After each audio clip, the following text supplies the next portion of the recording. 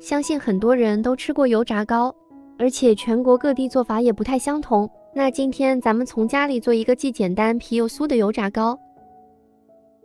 家里的最后一点糯米粉全让我给掏出来了，我最后称了一下是两百克，再放十五克白糖，两克酵母粉，颠到温水边和面。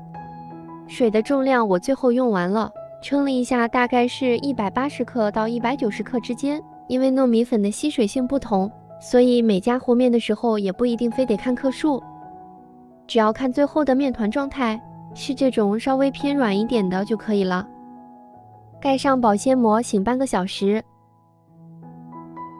醒好的面团扒拉一下，里边是比较蓬松的。抓一把面团，给它稍微攥一下。用手给它按扁，按出一个窝形，再放入红豆沙馅。我还包了玫瑰馅的，你喜欢吃什么馅就包什么馅，或者是黑芝麻的、红糖的都可以，自己在家里就可以随心所欲。最后给它包紧时，拍成一个小饼的形状。锅内的油温升上来，拿一个筷子放里边，看到底下冒小泡泡，油温也就可以了。把油炸糕一个一个的下进来，很快它就自己漂浮上来了。记得火一定不要太大了，如果火太大的话，外边表皮很快就会变黄，而且里边不熟。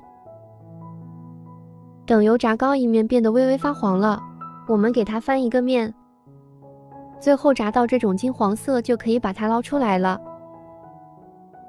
如果觉得油多，可以放在厨房纸上给它吸一下油分。